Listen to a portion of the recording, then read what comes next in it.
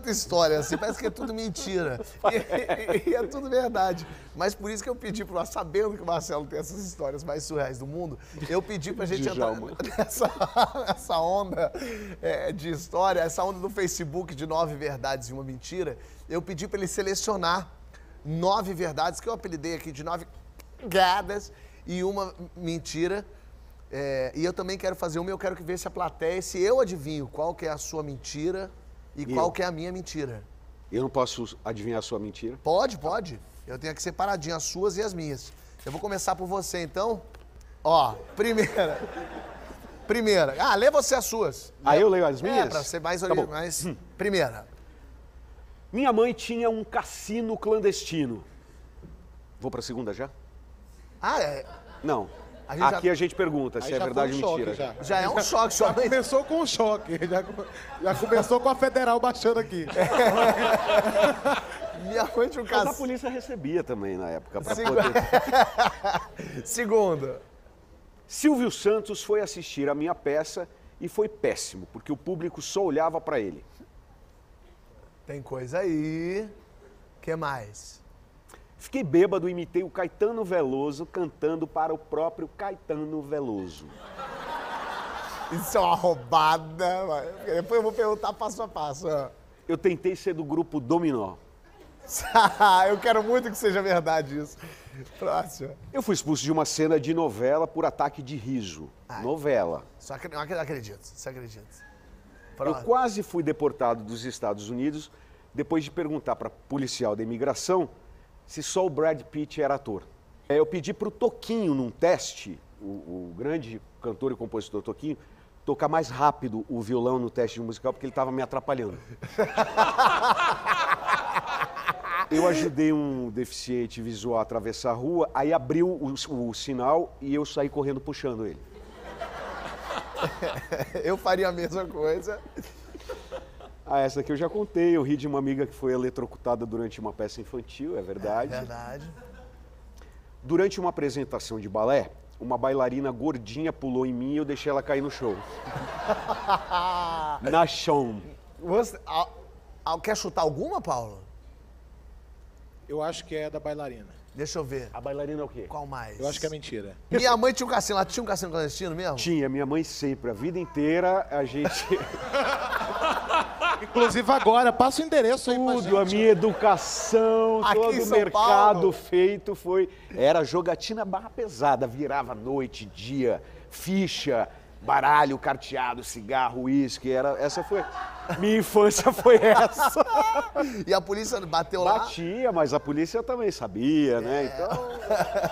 Foi a minha vida inteira cassino em casa. O meu chute é Silvio Santos. Ele foi assistir mesmo? Foi ver a peça. Ah! E aconteceu isso que eu falei da Xuxa, porque ele, ele, ele sempre compra ingresso. Não tinha, tivemos que colocar o Silvio na fileira dos convidados, que era no meio do teatro, e ninguém prestava atenção na peça, as pessoas ficavam olhando para ele.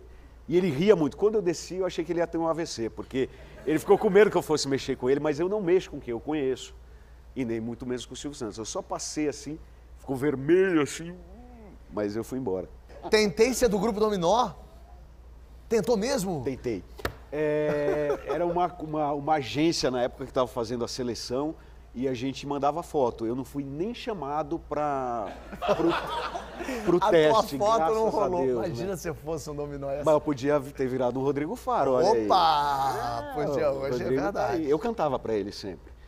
Um sonho vindo. É, ele canta essa música. Ah, é? Tchá, tchá. Ah, manequim. É, eu disse, você Faro. fala, mariquinho. Ajudei um cego a atravessar a rua e quando abriu o sinal saí correndo. Foi. Foi. Simples assim. Era, um- era, um- era- ele, ele tava vindo com a bengalinha e eram aquelas árvores que tem um, um buraco, sabe? Quando você põe a árvore e tem um buraco na. Sei, na- sei. Ele bateu a, a, a- a bengala dele numa ponta e na outra. Ele não viu, ele caiu no, naquela, na, no- na vão, árvore. hein? Aí eu falei, caramba, deixa eu ajudar. Eu tava com muita pressa também. Mas eu peguei e falei, ah, posso te ajudar? Tal, não. Aí ele foi, e era na- ali perto do Centro Cultural São Paulo, que tem uma saída para 23 de maio. E eu estava vindo assim, daí abriu, eu agi como eu agiria normalmente, que é dar uma corrida. Aí eu corri e ele veio correndo. Mas você sabe que eu tenho um amigo gay que foi ajudar um cego uma vez, falou assim, o que que eu te ajude a atravessar a rua? É verdade essa história.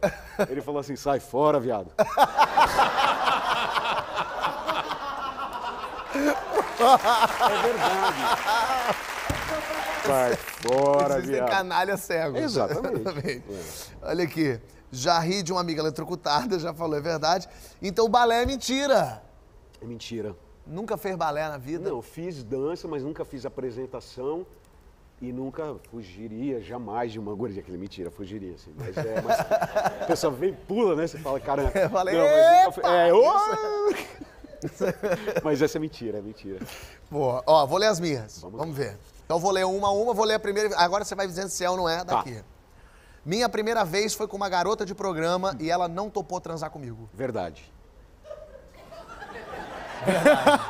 Foi verdade. Foi verdade. Eu cheguei, bati na porta e os meus amigos, eu apavorado com, sei lá, 15, 16, 15 anos. Um cara de 12. É, imagina, eu desesperado, batendo na porta. Aí ela abriu, senhora, jamais matrona. Abriu e falou, que é? Aquela coisa meio. E aí você fala o quê? Então, eu vim transar com a senhora. Você fala o quê? né? Vim transar Aí com eu- a senhora. Aí eu, é... Desculpa atrapalhar. Queria entrar aí. Ela, não, não pode não, não dá pra entrar não. Você é menor? Você é menor? Eu não, eu tenho 18. Imagina, hoje eu não pareço ter 18, qualquer coisa. Pareço, não precisa dizer nada se eu não pareço. Hum, novão. E, e aí ela falou, não pode entrar, não pode entrar. E eu falei, deixa eu falar, todo mundo tá contando com que eu venha transar hoje. Se eu não transar, vai ser ruim. Aí ela falou pra mim nesse tom, só que a polícia tem estado por aqui. Se eu deixar você entrar, também vai ser ruim. Aí eu falei, então vamos marcar outro dia? Ela, melhor. E fechou a porta. Verdade, eu não transei.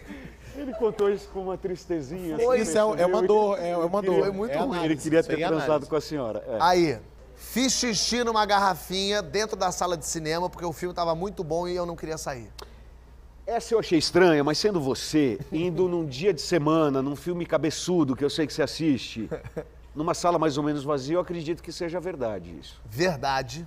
Eu tava assistindo, mas não era nem cabeçouro, era um filme No Limite, chamava, que é com Alec Baldwin, uma perseguição Zeca do Camargo urso. e aí eu, eu tinha tomado muita, eh, muita água e tal, cheio. e aí, Combo de refrigerante. Combo, aqueles negócios. Aí o filme, eu tinha que fazer xixi, mas já saindo por aqui. E eu querendo ver o urso perseguindo o homem. Eu olhei, tinha um cara só numa ponta, aqui embaixo tinha uma gente, ali também não. Aí eu ajoelhei aqui assim, assistindo o filme. Aí eu só peguei a garrafinha aqui assim, só fiz assim, ó. Dei aquela baixadinha, encostei o queixinho aqui assim, ó. Aí levantei tranquilamente. Rezou pro copo ser grande, né? Porque o problema é esse. né? Foi. É isso. Cumprimentei um a um os integrantes do Monty Python. Eu acho bem a tua cara. Fui isso. assistir a peça deles lá, completei, fiquei nervosista, não consegui nem falar É, direito. imagino. E finalmente, durante a medição de barriga no Medida Certa, eu encolhi a minha barriga pra ganhar. Essa seria a mentira, mas. Mentira! Eu não encolhi a barriga. Você vê que ele é bêbado, é pervertido, mas não é desonesto. É isso. É isso que vale, é isso que vale.